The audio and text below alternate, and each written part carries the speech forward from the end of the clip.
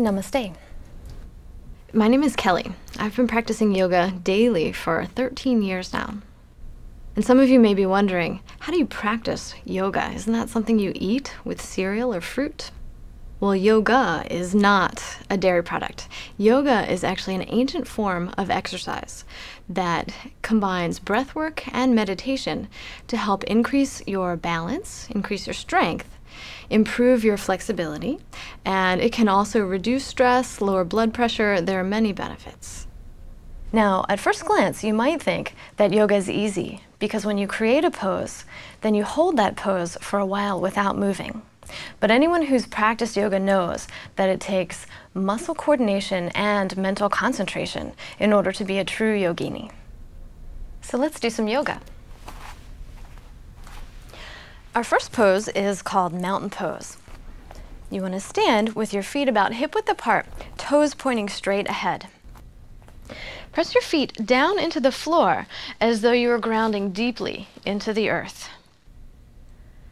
And from there, imagine a string attached to your tailbone, lengthening through the center of your body all the way through the crown of your head, helping to lift you up and create lightness. Let your belly draw in and your chest be high. Your palms may turn slightly outward. Once here, you want to inhale and exhale through your nose, breathing deeply and smoothly.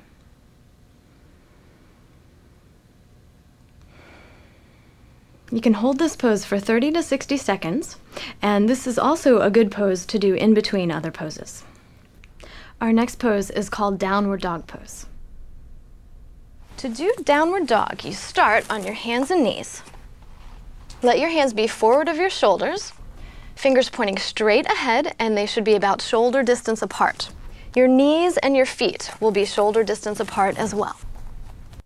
Inhale and curl your toes under. Now exhale and straighten your legs.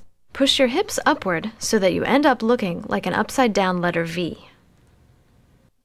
Your weight should be evenly distributed between your hands and your feet. And try to keep your legs straight and remember to breathe. Hold this pose for at least 30 seconds.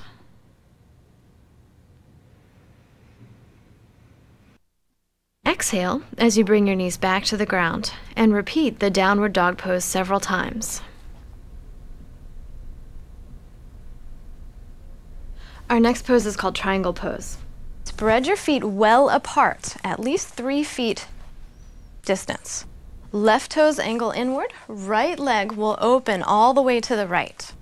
Reach your arms up shoulder height, and as you inhale, lengthen your whole body up toward the sky. As you exhale, reach out to the right. Let your right hand slide all the way down, as far down your leg as it will go. Your upper arm will point up to the sky and look up toward your fingertips. Hold this pose for 30 seconds or so, breathing evenly.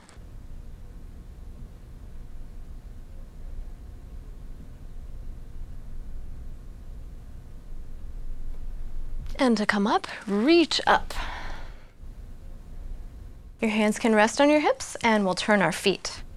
Your right toes will angle inward, your left leg will open all the way out to the side. Reach your arms up and extend them outward, lengthen all the way up to the sky. Draw a breath in, and as you exhale, we want to bend to the left. Let your hand slide all the way down towards your ankle. Your upper arm reaches up to the sky once again and look up towards your fingertips. On this side as well, breathe smoothly and deeply.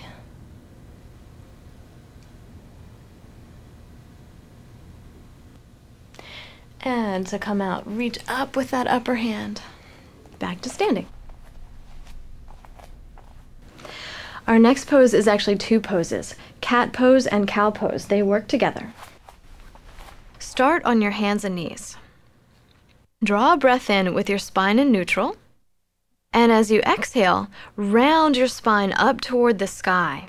Imagine a cat when it wakes up from a nap, how it stretches way upward, and your head will rest in between your upper arms.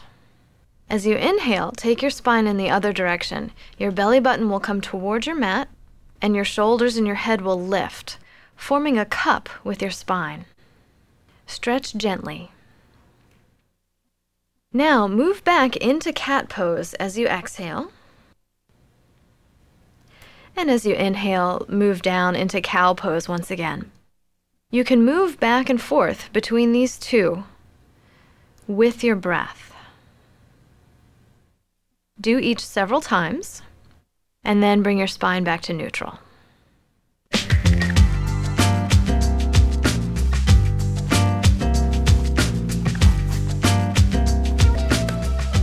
So, there are five simple poses to get you started practicing yoga.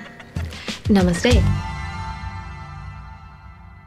If you have more time, here are some optional poses that you can try.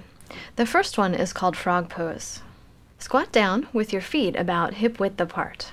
Let your hands rest on the floor until you find your balance, and try to keep your heels on the floor. When you feel centered, bring your hands to your heart in Namaste position. Stay still as if you are a frog, trying not to let anyone see you. To come out of the pose, reach your hands forward and gently roll back until you're sitting on your hips once again.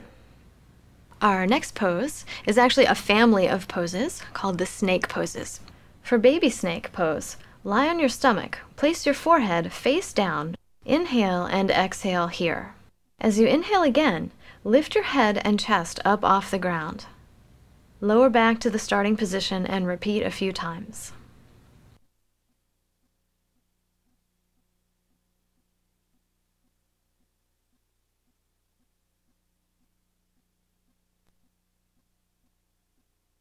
For mother snake pose, begin just like in baby snake. Lie flat with your forehead down and your hands by your chest. But as you inhale, press your palms down to straighten your arms and lift your head and chest even higher than in baby snake. Take a few breaths here and then gently lower back down to the starting position. You can repeat mother snake a few times as well. And the third of the family of snake poses is father snake. This is the most challenging snake pose of all. Begin as you would in baby snake. Lie flat, your forehead is down, and your hands are at chest level. Press your palms down into the earth and lift your upper body as high as it will go. Bend your knees and lift your feet toward the sky. Gently bring your head back toward your feet and look up in the air. And then straighten your legs, lower your upper body back to the ground. You can repeat this pose a few times also.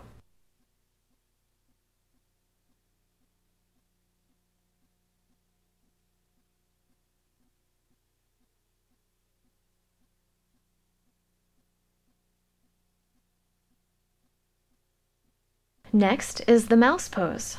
Bring your knees and feet together and sit back on your heels with your arms by your sides as if you're kneeling. Make sure your feet are flat with your toenails pressed down toward the ground. Slowly bend forward and let your forehead rest on the floor. If this is uncomfortable, you can fold your arms and let your forehead rest on your forearms. Hold this resting pose for up to a minute. Now it is a resting pose, so enjoy your break.